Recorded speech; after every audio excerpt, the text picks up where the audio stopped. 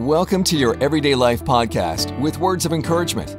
We hope that you walk away today in your everyday walking around kind of life, feeling energized by the words of encouragement you are about to hear. Each week, the message will inspire you in your plain old ordinary life. Knowing that Jesus is there with you every step of the day and not somewhere far off will give you new perspectives of your daily life. You can find us online at youreverydaylife.org. Go there and subscribe so you can get new weekly devotional blog posts in addition to the many posts on site. So be encouraged in your everyday life. And now, here are your hosts, Scott Ramsey and his wife, Carmen.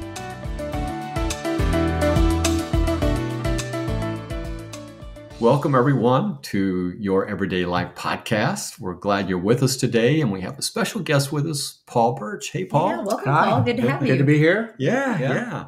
Well, uh, Paul is with us from Indiana. Actually, Paul, we're up from Florida in Indiana with you. So that, you're not with us; we're with you, right? Uh, indeed, yeah, and it's been a long time. So it has thanks been. for it has thanks been. for the visit. Yeah, yeah, it's exciting to be here and reconnect with you, and and just so everybody online knows a little bit more about you, Paul, we're going to have Carmen do a little more formal introduction. You want to go ahead and introduce Paul? Sure. Paul actually hails from Greenfield, Indiana.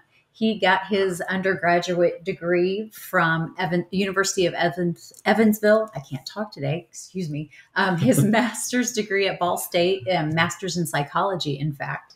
Um, he's been married to Roxy for 33 years. They have two children Dylan, who's 29, yep. and Gracie, who's 23, or Grace, who's 23. Used to be Gracie, Gracie way back when. um, he got involved in 1980, came to the Lord through InterVarsity and come back to that. he was we will. He was so impacted by that that in 1985 he started with them full time and it, to this day is still with intervarsity yeah. which is amazing and and awesome. Um, but we're going to let him take that away or take away with yeah and i have a question first. Oh okay. so yeah. 1980 paul when? 1980 did you like that's when you first made that decision to follow christ right yeah so i yeah. i had grown up in a, okay. a church home and okay. mom and dad thought it was important to go to church we did that every every sunday for the okay. most part but you know like a lot of people it never really connected it was kind of what good midwestern people do on sunday and so yeah. it wasn't until really i went to college and met some other people who were clearly experienced Jesus in ways that I never had, and I okay. found that very, very odd, and yet also very attractive. And um, okay. yeah, actually, on as best as I remember, Christmas Eve, 1980. Oh, okay, I committed wow. my life to Christ. Yeah. So, Paul, I just yeah. have to make this distinction here. You're actually older than me, but but not as wise. no, no, no, no, no. That's not what I said. But I, I'm actually that would make me, I think, eight nine, nine months older than you, eight or nine months older than you spiritually. Okay, okay. Eight, actually, April 1st of 1980 Very is when good. I accepted wow. Christ. Yeah, so same year. Wow. Well, That's going way back, isn't it, Paul? It is, but I think it illustrates that really important things are going on in that 18 to 21, 22 years. Mm. And we'll come back to yeah, that. Right? I really yes. think that. Wow. Yeah, amazing. Yeah. Well, that that's exciting to hear because you know you know some people grew up in you know being around the church setting, and some of us didn't. Mm-hmm. Um, some of us did on special occasions. Um, sure. And you know we all come from different walks of life, and so that's what we're excited about. Paul is hearing about your everyday walk with Christ and what that looks like. And so um, you wanted to pick up Carmen with where he experienced Christ in college and then how that turned into full time ministry? Yeah, just um, yeah, well, how that started for you? What were the yeah. people that God obviously brought across your path mm-hmm. that intrigued you to want to seek Him out to know more about Him? Yeah. Well, um, I mentioned I'd grown up in church. It right. was one of the uh, a mainline denomination. Um, mm-hmm. You know, good people. Um, but really it was you know as they say going through the motions a little bit sing the songs mm-hmm. listen to the sermons go to youth group right. that kind of thing nothing wrong with it but it wasn't particularly impactful we did have a uh, a couple who started going to church that became the youth sponsors and this is you know okay. you having so much background in youth ministry. It, it I had never met anyone um, that that followed Jesus in a meaningful way and actually took seriously like what it would look like for that to impact every area of, okay. of their life. Yeah. So that was yeah. that was the first kind of interesting, intriguing person that I met. Um, okay. Got involved. I have no idea why they necessarily landed at at this particular church because they're just it just wouldn't have made a lot of sense knowing what I know now, but they were there, and I think there yeah. was for a very good reason. I met some other yeah. people. Uh, once I went to school, and uh, again, same thing. Just had not met people who authentically tried to follow Jesus, and it really meant something to them. And uh, I was in one of those seasons of life where I was asking some pretty big questions about what life is about. Mm-hmm. I saw that you had a podcast on purpose in life. That was a huge theme for my life, and yeah, so yeah. those things began to come together. Yeah, and Carmen and I find it interesting in in our life mm-hmm. um, that um, God brings people across your path, probably because somebody's praying for you, right? Yeah. and yeah. I mean, it just doesn't happen by chance. Like, oh man, that was coincidence, right? But but exactly. for some reason, he brought this couple to your church Absolutely. where you were, and God's thinking, eh, Paul doesn't know it right now, but I got some plans for him. Yeah, and yeah, and exactly they right. invested in you, and you saw something different in and yes. wow, here you are today. Yeah, yeah. So that's exactly right. Yeah, and we look back at those same kind of things, don't we? Like, man, we didn't even see it at that moment, but here's what God was doing. It was an amazing thing. Yeah, and maybe to where we get later, but just we all probably have these significant people in our life that mm-hmm. intersected our lives at crucial times. And, yeah. you know, I always think like, where would I be mm-hmm. if such and such a yeah. relationship hadn't crossed my path? And, yeah. you know, who are those top two or three people that if they had mm. crossed yeah. paths, I, I, really don't know what my spiritual trajectory would have been. Certainly. Yeah. Certainly. So then you jumped into, as, as Carmen mentioned, with InterVarsity. Um, mm-hmm. I mean, you were experiencing that um, as somebody that had had gotten involved with it, and you were gaining the personal effects from that. Right. Um, so you were growing personally, but then um, there was an opportunity for you to, yeah. hey, this is a direction I feel yeah. pulled, and so yeah. right out of college. Right? Well, we're or, out of grad school. Out so, of grad school. Okay. So I don't know what it says about you know you go to 18 years of school and then I get a master's degree. Mm-hmm. And so a little bit of surprise probably for my okay. family and yeah, whatnot. Certainly. Hey, but, but I think what was going on there is, is I just realized that, uh, what were the things that were most life giving to me? What were the things that were really um, uh, most important to me? And it it wasn't my academic work it was the stuff i was doing in ministry mm-hmm. um, at that time and mm-hmm. the opportunity to to to actually do that full time and be developed was was really attractive to me so mm-hmm. well yeah let's take a little bit of a turn here um, carmen has actually become a little bit of a can we call her a fisherman oh, official person. Oh, nice. Official woman. Good. Oh. yes. Uh, I so, cast a lot. Yes, yes, yes. casting, yeah. Uh, and um, so, you know, when we got to, to Florida, uh, as yeah. you know, we, um, I'm going to use the word culture here. Yeah. You know, we had the fishing culture up here, lakes and streams and ponds and maybe rivers. White River. Yeah or, the Wabash River. Yeah, yeah, for you. Yeah. yeah. Uh, but then we get to Florida, and now it's salt water. Mm-hmm. A whole different.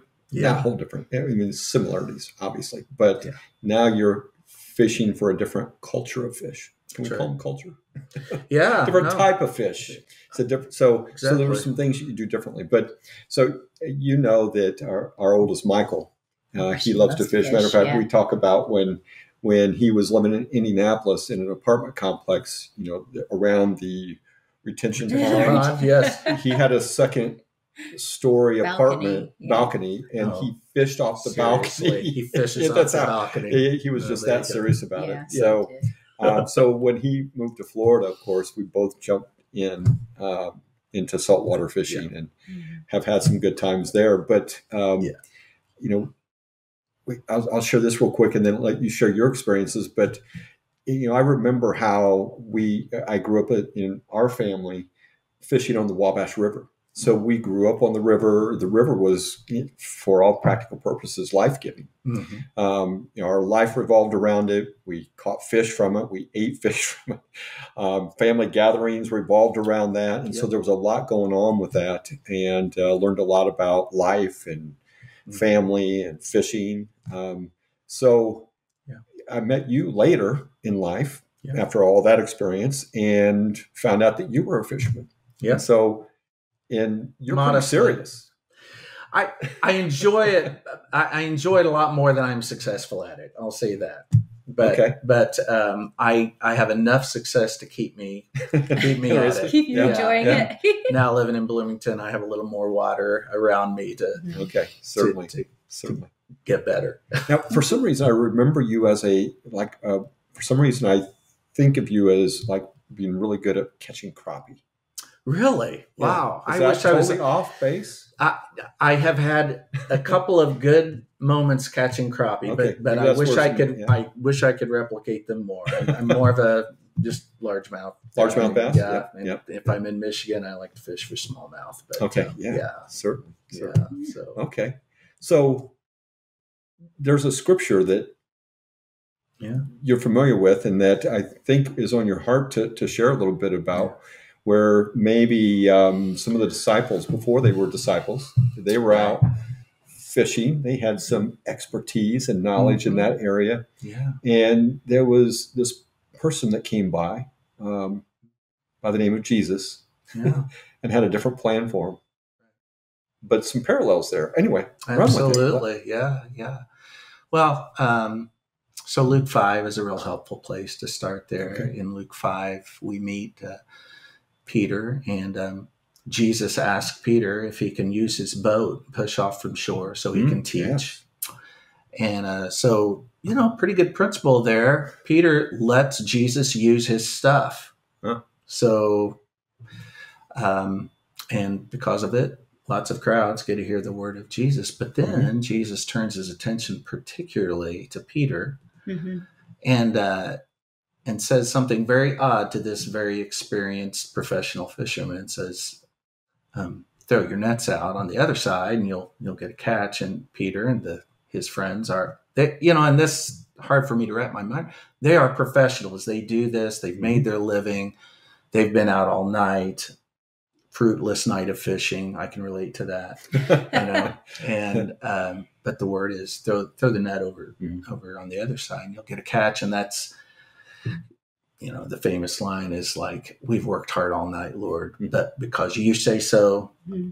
okay and they yeah. do and you know the story is that they catch boat sinking net breaking amounts of fish mm-hmm. yeah and just a, a, ridiculous absurd amount of fish and that that becomes this really sacred moment for peter mm. because uh, he realizes that i'm not just not just talking to the local rabbi. Mm-hmm. Mm-hmm. He says, you know, depart from me, Lord, I'm a sinful man. And, uh, and that's one of these defining moments for Peter where Jesus says to Peter, yeah, you know what just happened? Well, from now on, you'll be fishing for people. You know what I mean? And so that, that picture of this massive boat sinking, net breaking, catch a fish says this is this is your life, and mm-hmm. that, that's uh, going to happen as a result of following me. And so, it, you know, it's a, it's meaningful for us because it means that uh, that's kind of the invitation to any Jesus follower is if we follow him, he's going to make us a fisher of people. You mm-hmm. know, and so. I thought that would be a worthy thing to talk about on your everyday life of just yeah. I, there's nobody that's nobody's not uncomfortable about giving away our faith or talking about our faith or fishing. Yeah. yeah. yeah. I mean, it, it, one thing we all have in common, you know, mm-hmm. is we're all really weirded out at the thought of yeah. sharing our faith and we all need to grow in it. So it feels like a relevant topic. Yeah. Mm-hmm. So um, I'm, I'm thinking that as you're sharing this story, that this isn't just something like yeah, this is a good idea. Uh, right. But I mean, you right. you really have put your life. I mean, this is this is your everyday life, and mm-hmm. my guess is, if we had to guess, Carmen, that um, even if you weren't um, working with and through InterVarsity, mm-hmm. probably still be who you are, right? Yeah. Um, I, I, mean, going back to our early conversation, it's really like, where would we be if it wasn't for that friend or that family okay. member yeah. or that person who who took a risk to be awkward over a mm-hmm. period of time. Maybe it was one conversation, maybe it was many. Yeah, but where would yeah. we be if someone hadn't taken a risk, mm-hmm. broken some social rules, maybe, to introduce these kind of conversations with yeah. Jesus? So, um, yeah, yeah, I think we all just are really nervous about evangelism, and and yet it's not just for the super spiritual. Yeah. Um, mm-hmm. We're all going to really look different in our language and styles of evangelism. A lot of people have done a lot of work in that, mm-hmm. thinking about how people are gifted differently and how they'll share that. But if we can figure out how God has wired us, God can use us. Yeah. So, Paul Bertsch, Fisher of Men, um, and so you're using this tool. That's how we're uh, called InterVarsity ah, yeah. to be able to reach people with the life changing message of Jesus Christ. Yeah. So, um, you have, you are a missionary. Um, you're not in some foreign country, though. You are kind of the foreign country of the college, yeah, you know, college crowd, sure. right? Sure. Um, on their campus, in their territory, in their everyday life, right. um, as a messenger of Jesus Christ, uh, reflecting his life. Yeah. And so, why 18 to 20? What, yeah. what, I mean, we're talking about a, a huge missionary field that, I mean, they maybe some of them even grew up in a Christian home, but now they're away at college. You're oh, working yeah, with a yeah. like, hey, I'm free finally, and I, that's the last thing I'm thinking of is somebody oh, sharing the gospel with me. I'm here maybe to learn yeah to learn uh, you know my career my my my future but man i'm gonna have some fun while i'm at it. so you're work you're working with a quite a diverse crowd right well i mean we can just think back what we were going through at age 18 to 22 the questions we were asking we yeah. you know we were pursuing fun probably you know certainly pursuing relationships mm-hmm. um, trying to figure out what we wanted to do um, there's just a lot of big questions in life going on then and i think for many people they're they are away from mom and dad and they have the opportunity if if they came from a faith background they have the opportunity to say is this really mine do i want to continue in this mm. or do i need to figure this out for myself yeah you know increasingly you know our experts will tell us we're in this post-christian age where just fewer and fewer people have any experience with Jesus or with the church. And painfully, uh, many that do mm. have really hurtful experiences with the church. So we're at a very, I think, very different place in the conversations we're having with that age group yeah. than even when we would have been students for sure. It's just really changed. Mm-hmm. Um, so, and, and honestly, uh, we're we're in learning mode right now. You know, mm-hmm. they're, they're calling it Gen okay. Z, you know, yeah. generation. Mm-hmm. So this generation just is asking different questions. They have different background. They have a lot different problems. I mean, than than maybe we would have talked about when we were yeah. when we were in that age. So you've probably seen that through the years. Then I never even thought about yeah. that perspective. Just different the different generations. generations. that come through since 1980, right. and they all evolve based on their upbringing, and so it yeah. it culturally it is different every time they come in. What's been would you say probably mm-hmm. one of your most maybe difficult or maybe most poignant moments or mm-hmm. just or a particular group that there was something that I really stretched you, I guess, in trying to reach out or Oh man, I'm I'm in a stretching moment right, right now. now. I mean, we're in a absolute I mean, besides being in the COVID 19 pandemic, we're in a mm-hmm. pandemic of anxiety mm. and depression. I mean, you can hardly talk to a young person, um, hopefully that's not an overstatement. A ton of young people will talk about anxiety in their mm-hmm. life in some kind of debilitating way. Mm-hmm. More and more students are in therapy. Um, and good news is that's more normal, but they've just got a bunch of junk that they're carrying around in life and they, they don't necessarily have mm-hmm. a healthy faith background mm-hmm. to help them navigate it. So we're really talking to it. I mean, it really is crossing cultures. Yeah. You know, and I've, you know, Roxy and I lived overseas for a couple years, you know, and right. I would yeah. say this is, right. this is probably no less a cross cultural experience. Mm-hmm. Yeah. Yeah. Yeah.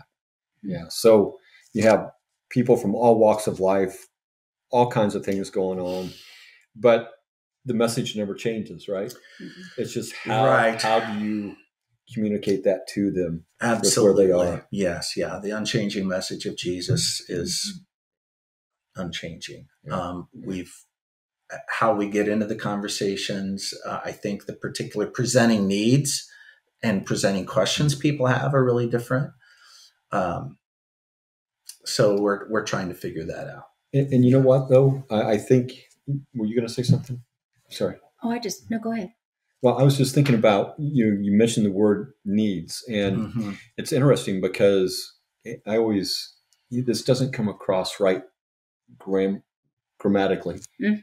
Uh, it's not good English, but Jesus was the best at being a need meter.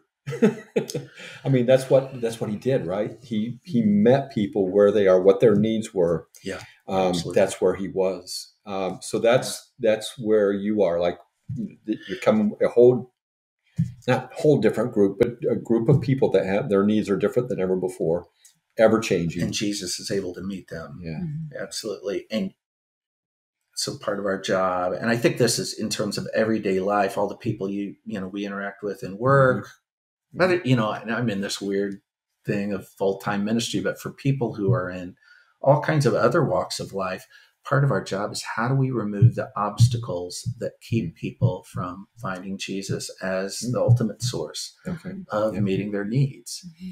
Um, we want to go often, we would like to go straight to Jesus, but uh, there's this deep hurt that happened at a church years ago. There's this traumatic experience that happened. Um, there's this deep disappointment in their life. Mm-hmm. And like, we just have to like one by one, mm. walk through those obstacles. And um, sometimes we have an answer. Sometimes just our presence yeah. is, you, you know, yeah. uh, is is what is needed. Well, what does that? Uh, I was trying to look at. You've done work at I, Indiana State, Rose-Hulman, um, University of Evansville. You also Franklin College and some other areas. Yeah what does intervarsity look like within the colleges like that initial engagement or that n- initial like how do you get the word out there in the colleges and i know that you know it's mm. through people but just initially how do you start to engage a college you know students in a college yeah um well I, honestly covid has like everything's different yeah everything's different now you know yeah. if you'd asked me that mm-hmm. two years ago I'd, have it be a There'd be answer. more social functions, yeah. probably, right? Or yeah, you just can't gather. gatherings. You know, yeah. no, we've got back to that a little bit. So, yeah. but back in the day, you know, back two, three years ago, it's all that you know, student organizations find a way to get out there, whether it's social media, signage, doing events, those mm-hmm. kind of mm-hmm. things. That's really been taken away from us. So mm-hmm. maybe more than ever before, personal relationships, personal friendships that are authentic, that yeah. are long term, that build trust, is much more important than just dispensing quick hit information mm-hmm. about Jesus. you yeah. know what I mean? Yeah. yeah. And, and frankly, a lot of our, I mean, you know, a lot of the evangelism training, well meaning and great churches participated in in mm-hmm. decades past has been how to have this instant conversation, you mm-hmm. know, that you know, dispense some facts and ask them if they're ready to believe in those facts. And and boy, I just think that ship has really sailed. Yeah, so if I you agree. try to you, you, if you don't have relationship and trust and mm-hmm. authenticity, the truths about Jesus are going to yeah. be really tough to, to, for them to receive. Yeah. Mm-hmm. I almost feel like, Paul, I hear you sharing that, that it's just really coming around full circle to where it needs to be. And what I mean mm-hmm. by that right. is, you remember back in the earlier days of, you know, when we were coming through that time, you had the big events. Oh, yeah. You know, there was, yes. there was Keith Green, there was Carmen, uh, Carmen. Not me.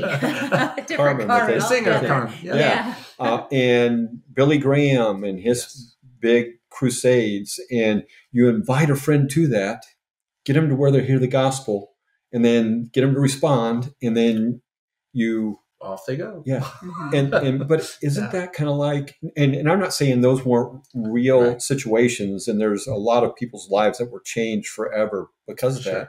But a lot of times that's that seed that fell in shallow soil, mm. sprouted up real quick. Um, but then all contact was lost. There was no depth to it. The roots mm. didn't settle in because it wasn't in good soil, and right. they disappeared. Um, yeah. We saw that in in you know some of our youth for Christ ministry and our outreach. We've all seen that. But it, you look at the relationships that you developed, and you know you're talking about you know it's more of an individual connection and long term. Yeah. Those are the relationships that seem like they they gain some traction and and they begin to grow and, and right. happen over a period of time. Well, I've never seen a, a season where people are more disenchanted with mm. kind of big event um, Christianity, whether it's mm-hmm. you know um, whether it's mega church, whether it's events, that like there is just a real suspicion of and that doesn't mean that there's not great things happening in those places. Right, there yeah. are. We've all benefited mm-hmm. from. We've benefited from those things and yeah. in those those settings. So mm-hmm. it's not that, but the the suspicion is high, mm-hmm. and um, I do think people need that one person that they know uh, that they authentically follow yeah. Jesus and they can actually bring their questions to them, and they're a safe person to bring their doubts, their skepticisms, yeah. their their questions yeah. to. Mm-hmm. Because yeah. if they have to have it all to, you know, a lot a lot of people's story is that if you have questions, doubts, you don't have it all together, that door is sh- shut. Like, just come on, just get it together, have faith, believe, right, you know, right, whatever. Right. And that's not what it's about. Yeah. Yeah. Yeah. Mm-hmm. So, but you think about though, if we go back to those times, really probably the ones that did that were successful relationships started with Jesus that time mm-hmm. probably had somebody that had already invested in that person, got them to that event, mm-hmm. and then took them from there on that journey right. um, as kind of a Paul Timothy type relationship right. or whatever that might have been. Um, that's probably where we saw the success from those events, not the event mm-hmm. itself. The event itself was a great conduit or great channel. But I love events. Yeah, yeah, yeah. yeah it still comes down fun. to that. Yeah. And so, okay, really we can't do the big events, but that doesn't matter because this the gospel comes down to that personal relationship with Jesus, with mm-hmm. you one on one, and you're a reflector of that. You reflect that relationship. Um, yes. And I always like this part. I think it was Francis, Saint Francis of Assisi. Oh, yeah. Oh, yeah. Use words when necessary. Yeah, right. Um, and you know, you you are very good at doing that. That's why you're in that field. That's mm-hmm. your strength. That's what God had called you to. And, and you actually, and, and you did, we didn't really mention this, but you actually train other people to do that. Um, and, and that means that you're, what does that mean? I, yeah. I shouldn't say what that means. You, well, what does that mean to you when you're, you have other people that you're, um, sending out? yeah. And, and, the older I get, so I'm, you know, I'm 60. So obviously, um, my, my relationship with you know 19 20 year olds is different than it used to be so yeah i am mm-hmm. much more of a training developer role mm-hmm. i think mm-hmm. I, I, think part of uh, my role or our role as older people is sometimes it's to help people unlearn mm. everything wow. that they thought effective evangelism was mm-hmm you know, just share the, you know, fill in the blank with your gospel outline, Romans Road or Four yep. Spiritual Laws or whatever. Yep. Just share that or, um, I don't know, it, quite formulaic kind of things. And, and somehow we have to give permission for people to like, you know, it's okay to not just be a dispenser of theology and information. Mm-hmm. Why don't you learn how to be an authentic friend? learn how to ask really good questions, learn how to listen really well, uh, learn how to invite people into community so that they meet other people who are different than you mm-hmm. and they you know so i think part of it is we, we've just relied so heavily on dispensing content mm. they need embodied people need embodied content they need to see and i think that was what maybe i was seeing when i was 18 19 i saw yeah a Jesus centered life that was actually embodied and lived out in flawed human people. Yeah. yeah. Authentic. It, I mean, that's what people want is yeah, authenticity. Yeah, I, people don't need perfection from mm-hmm. us as Christians. They they do need a level of consistency. Mm-hmm. They need humility and they need authenticity. Mm-hmm. Yeah. Um, we can get a lot of mileage if we just are doing that. And maybe, you know, it's probably worth saying too also if if we're just growing in Christ ourselves. I mean, you know, there's all kinds of tools, skills, and you know, I was thinking about, oh, what would be helpful for for people to know. But but honestly, if we just are uh, ordering our lives around knowing Jesus and yeah. arranging, you know, our lives and our schedules to know Him, good things will happen. You will yeah. be an aroma of Christ. Yeah, and you could do a whole lot worse than that. Yeah, mm-hmm. certainly. And I love that you bring it back down to that because it, it is that personal relationship with Christ. And um, we were discussing this a little bit before we started the, mm-hmm. the recording here today is that uh, to know Jesus is to know Jesus. Yeah. And so, you know, it's just like if we were spending more time with you, uh, you know, we would know you in a deeper way and probably become more of a natural thing to say, hey, by the way, you know Paul and Roxy? You know, and yeah hey, they're really cool people. And and by the way, what you don't know about Paul, a lot of people do, but if they're watching this podcast, they don't know that you're actually a musician too. So I had to bring that into it. Yeah, well, Matter of fact, we tried to get Paul to do a little ditty tonight. he's got a new CD out, and you you what produced three others? Um, uh, so I've got four yeah. out. I'm working on a fifth right now. Oh wow, that's okay. what I was working on today before you got here. Okay, yeah. cool. so cool. so we'll, we'll, have a little clip on here. Um, that you'll be able to see of some stuff Paul's done that uh, Probably come back to. link or something. Yeah, to, yeah, yeah. yeah. Okay. You can get to a Spotify link or yeah, something like that. Sure. So maybe we'll do another podcast and have Paul actually play live. that would be awesome. Try it. But anyway, but you know that's uh, the uh, as you know. Um, our Fourth of July parties. We had you oh, and your yes, band. That was a blast. Yeah, we loved having. Yeah, awesome. so and you know that's uh, another tool or venue you use to share the gospel. Yeah. And, and I have to tell everybody this that so you know you you hear about Christian musicians. You know we we listen to them, see them all the time, right? And go to those concerts, um, and and a lot of times they're worship experiences and, and things. But but Paul and and uh, you know the guys that he played in a band with. I'm assuming some those guys still playing a band with you, and you still do oh yeah, we're stuff. still yeah, still, still playing together. Same guys. Is that these guys don't always play Christian music. Yeah. But what they do is they play some mainstream music that connects with people. And during that, they're reflecting Christ mm-hmm. in their words that they share in between. And even some of the music they, they actually have written and play, you know, reflects Christ as well as some of the cover tunes that you guys play. There's just something yeah. about live music, though, you know, yeah, gathering around live music and. And, and you don't just in matter of fact, I don't even know if you guys actually do that in churches. You do it where everyday people hang out, right? Yeah, yeah, yeah, Our, you know, it's funny. We've been playing together for uh, I don't know, thirty-five years, years, a yeah. long time. Same guys. It's yeah. really an interesting thing. So um, that doesn't normally happen with with amateur bands, but uh, uh, yeah, our our venues have shifted to. Mm. Um, a lot more wineries and breweries and, yeah. and pubs and those kind of settings. Yeah. And part of that um, is because that's where live music is mm-hmm. held. But but, mm-hmm. but there really is actually, you know, theology driving that, um, mm-hmm. and has for many years. And yeah. it, it's kind of been a, a creedal verse for me. Jesus was the friend of drunkards and sinners. Mm-hmm.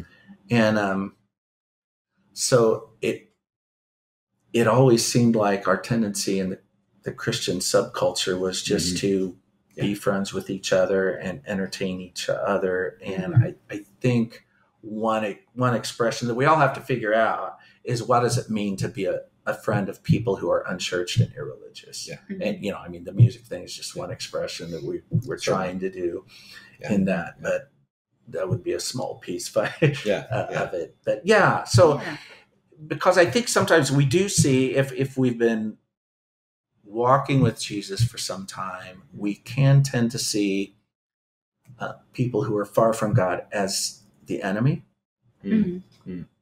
I Yeah. yeah. I Do you know what I mean? I mean, Yeah. it's it's we them, Yeah. us Mhm. them, and you know, it's like, well, that that person that's really a mess, and they they may indeed be a mess, just like you were a mess. You Yeah, know, exactly. They- We're all a bit of a mess.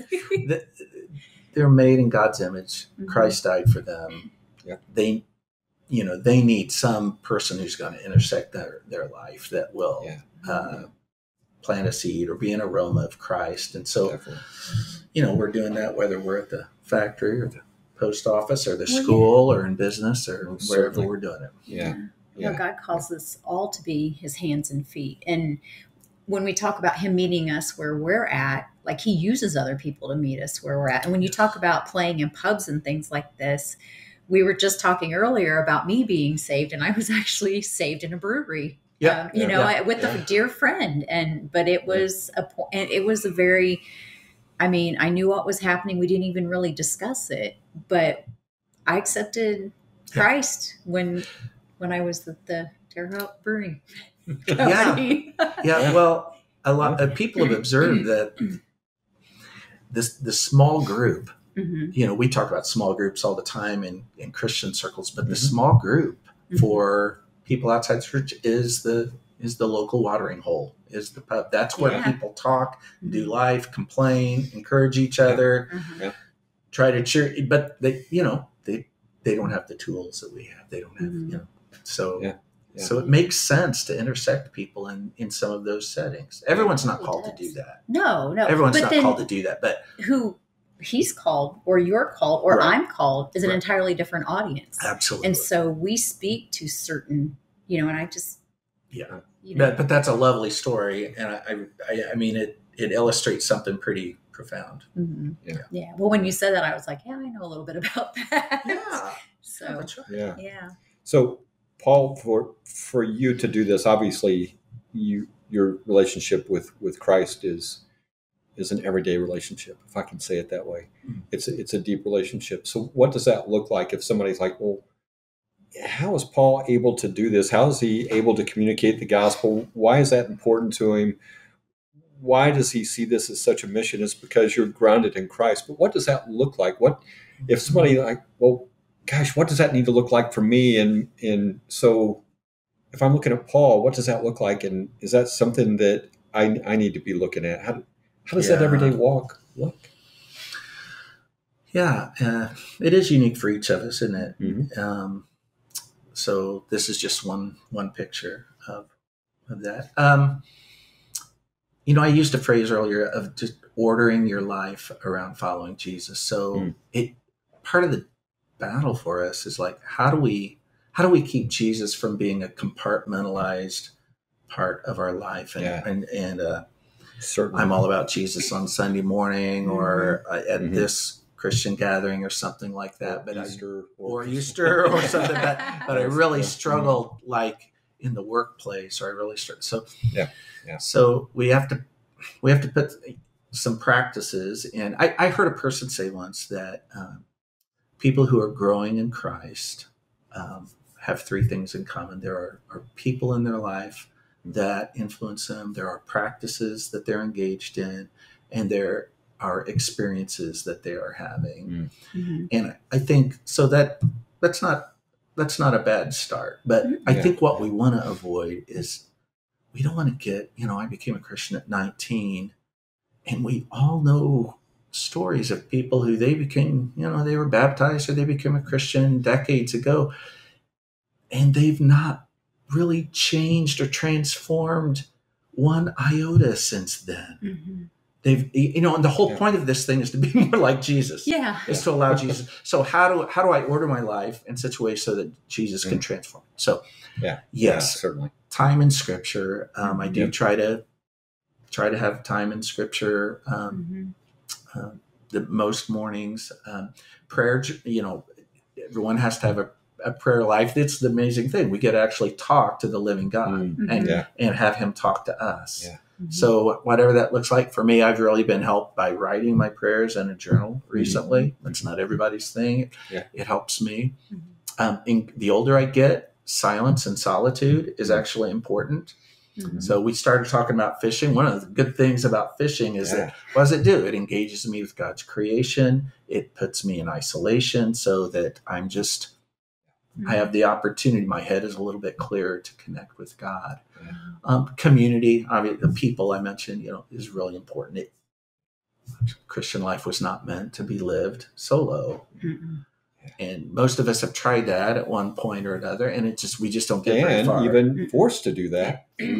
or or, or, or uh, yes, right? yes, yes. Yeah. So, so a lot of people were isolated from. Yes. Yeah. So now you have to work extra hard to enjoy yeah. some some version of community. Yeah. Mm-hmm. Um, hopefully, we'll get back to that here, yeah. starting to. So, mm-hmm. and then also sometimes there are just these fork in the road experiences that we have. It may be, um, I know Carmen, you went on a mission trip that was, mm-hmm. I think, pretty transformative yes. for you. Mm-hmm. And often it is a cross cultural experience that God uses to like get our attention. We mm-hmm. just kind of have to get out of our own little world sometimes yeah. to see God in fresh ways. So people, practices, and experiences mm-hmm. is what John Ortberg, um, one one author I like a lot, um, has said is just really key to people who are transforming in Christ. Mm-hmm. mm-hmm. Yeah.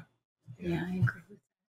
So, Paul, as you think about um, people that are watching this and maybe they're struggling with their everyday walk with Christ, mm-hmm. what kind of encouragement if you can put it, I don't know that you can, but if you can put it in a sentence or two, how would you encourage them?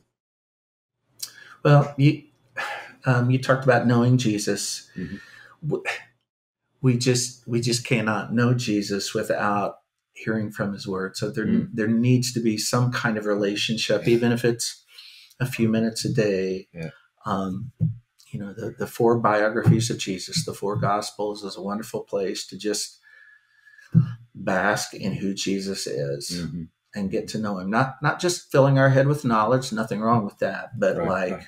what would it mean for me to actually encounter this jesus mm-hmm. in my life and let him do the things yeah. that he, i read about him doing um, i think the everyday life with jesus starts with a personal relationship um, like that but it doesn't end there we've yeah, we experience Jesus in community because mm-hmm. um, the Holy Spirit lives in you. The Holy Spirit lives in you. So yeah. I need time with you to learn and mm-hmm. see what God's doing in you guys. Okay. Yeah. Mm-hmm. So there's, it, it is interesting how many people we can talk to that have kind of disengaged, and not necessarily just because of COVID, but they mm-hmm. disengaged right. from community.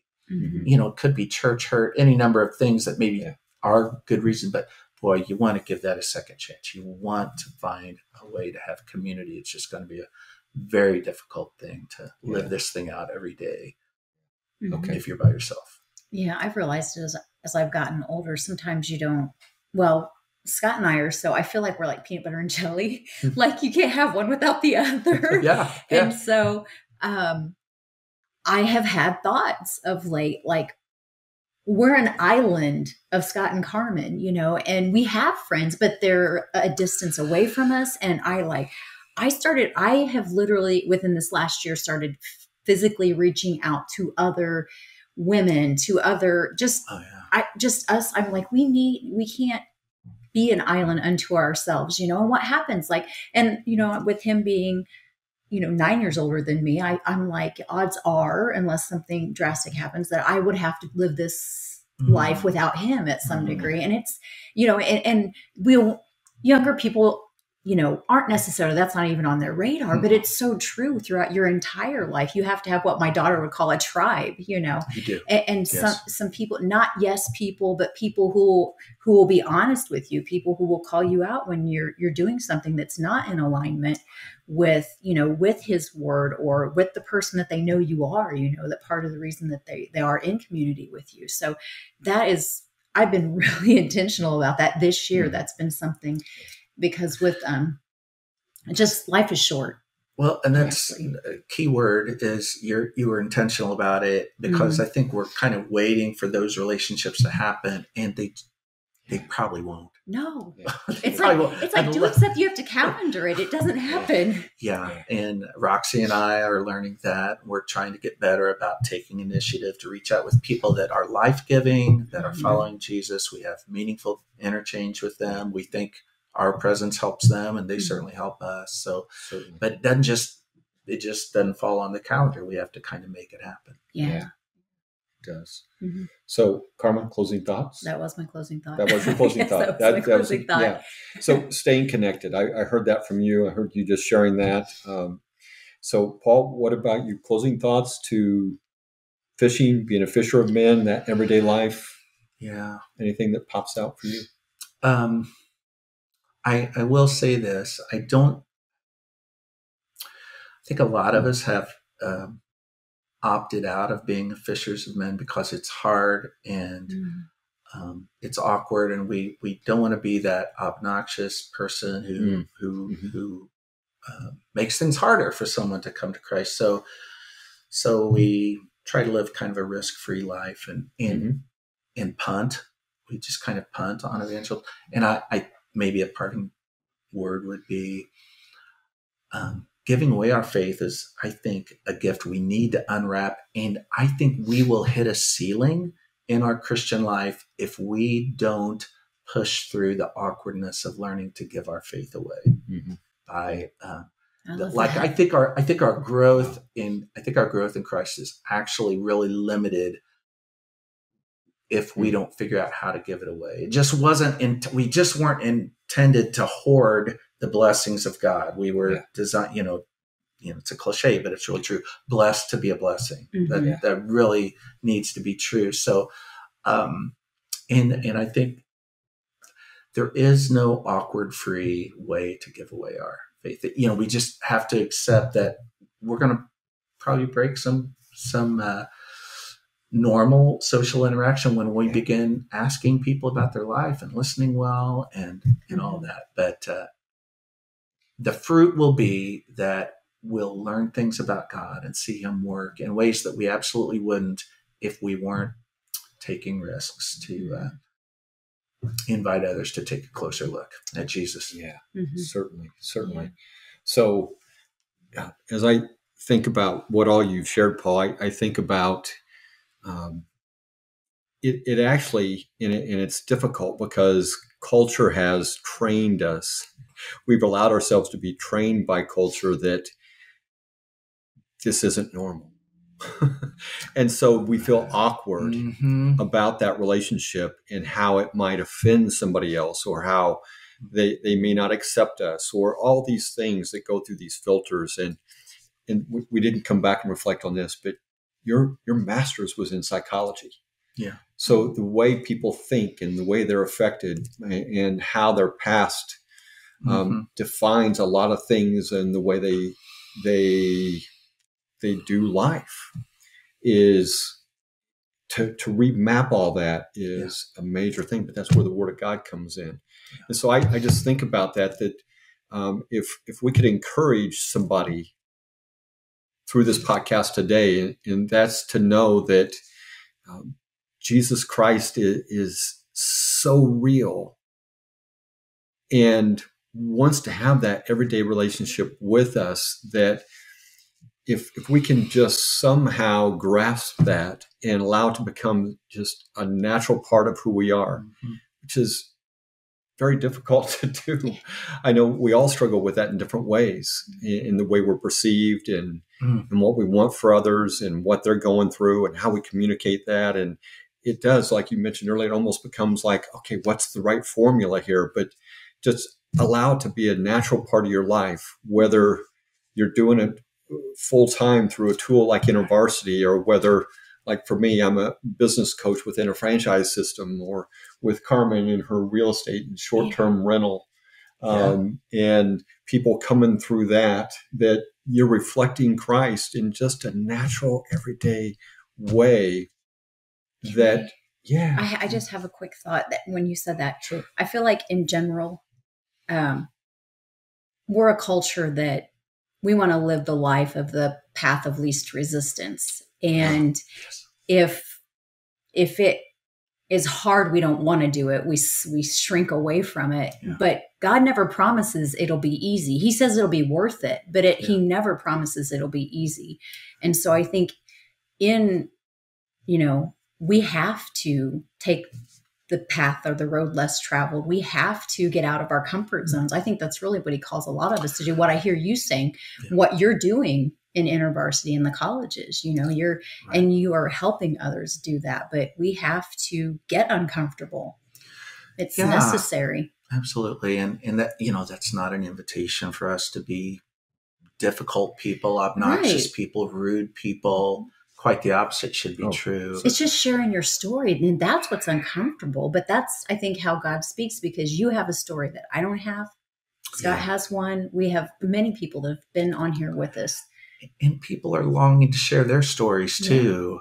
Yeah. Um, they're they're not yet Christian stories, mm-hmm. and so and would love someone to listen to their their pain, their hurts, and and it gives us the chance to say, you know, would you mind if I just really briefly shared, you know, something that's been really helpful to me. Mm-hmm. Yeah. You know, and part of your story. We never we hardly ever think about just asking permission to like go to that place where we talk mm-hmm. about our faith. But I think most people would say, yeah, yeah. sure. You know, I think so. but know, I think we're afraid, so we don't but, ask. But we, yeah. All I can do is say no, right? That, that's the worst. It's the worst that can happen is they'll say no. Yeah. yeah. It really is. Yeah. So um, let me bring this to a close here. Sure. So, you know, the reason why we had you on here, Paul, is because, you know, we, Carmen and I, we look at your life, you know, along with Roxy, and we really admire you guys. Mm-hmm. Um, and we look at you as as steady rocks because of your relationship with Christ, and mm-hmm. you know, you know, regardless of what your backgrounds were, what you came through, um, you know, you found that relationship with Christ, and um, that has become a part of your everyday life. And so it's a natural thing um, that I want you all to see in Paul and his wife Roxy that it's just a natural thing that they reflect. And, and Paul happens to do that through InterVarsity, but he does that outside of InterVarsity. It's not like he stops doing that. Like, okay, it's five o'clock, we're done with work. and so let's go live our other life now. I mean, it's a part of who you are. And that's that's how, you know, be blessed so that you can be a blessing. Right. Reminds me of Jabez. And gosh, yeah. I need to bring this to a close because yes. now we can get into a whole other message. yes, but, that's a whole other but thing. you know, Jabez said, um, bless me indeed. In other words, greatly bless me and expand my boundaries mm-hmm. that I could have an impact. Yeah. Um, that's, right. you know, I'm putting it into my own words now that we can have an impact. And that's how we're greatly blessed is that we're blessing him by mm-hmm. reflecting mm-hmm. him because he has designed everyone to have a personal relationship with him. And he needs us to reflect who he is to others in order to do that, to connect with them and have that relationship. And this guy does it as well as anybody I know in, in his everyday life. And so I know he's going into humble mode now and probably kind of blush a little bit. But I can say that about him. He's not going to say that about himself. But Paul, we appreciate you being a part of our podcast and sharing, and we're hoping to have more in the future with you. But when you look at Paul Bertsch, that's what you get in that everyday walk that you would see in his life and that reflection of Christ. So, um, you're very com- kind. Thank coming you. back to the scripture, um, it's out of Matthew. Help me out here, Paul. Oh. Um, chapter four. Um, oh gosh, where is it? Uh, okay, so I'm stumbling here now. What are you looking for? Where Jesus called them to become, oh, here, here it is, verse 19. Ah, there you go. Okay. Paul said to them, Follow me, and I will make you fishers of men. And so we look at that as being a like, oh, not me. But it, it, it, I know some people may not get this, but as you get to know Jesus, it becomes a natural part of your life because it's it's just an amazing life. Yeah. Um, to to follow Him, and what He has in store for us, what He has in store for you.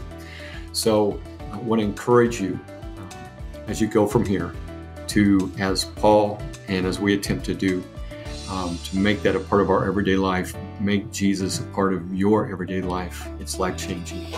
Thank you and be blessed. Thank you for joining us this week on Your Everyday Life podcast. We pray that you were encouraged. Make sure to visit our website at youreverydaylife.org where you can subscribe and receive weekly devotional blogs from Scott. You can also find us on Instagram, Facebook, and YouTube at Your Everyday Life. Be sure to give us a comment on how words of encouragement has inspired you and pass the word on to a friend who you know needs encouragement. Be sure to tune in again next week when once again we will look at everyday life topics and apply words of encouragement. Until then, stay encouraged by what you heard today, and may you be greatly blessed.